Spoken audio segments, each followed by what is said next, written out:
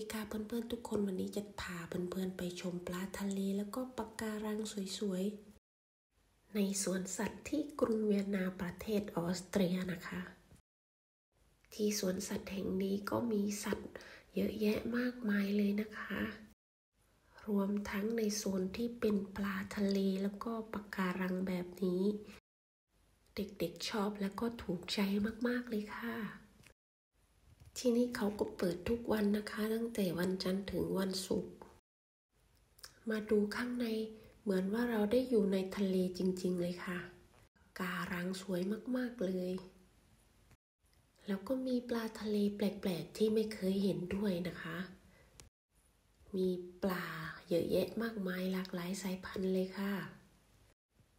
ถ้ามาที่นี่แนะนำให้มาวันจันทร์ถึงวันศุกร์นะคะ เพราะว่า วันเสาร์อาทิตย์คนจะเยอะมาก ๆ เลย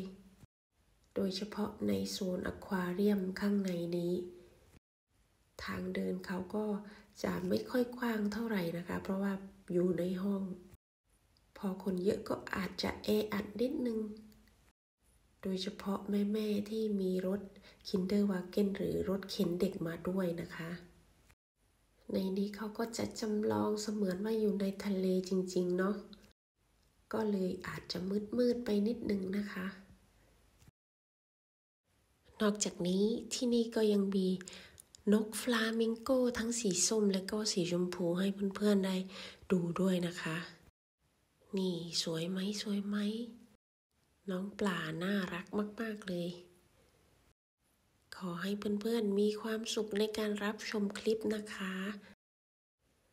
วันนี้เอก็ขอตัวลาไปก่อนนะคะ ขอบคุณที่ติดตามรับชมคลิปจนจบนะคะ พบกันใหม่คลิปหน้าค่ะ บ๊ายบาย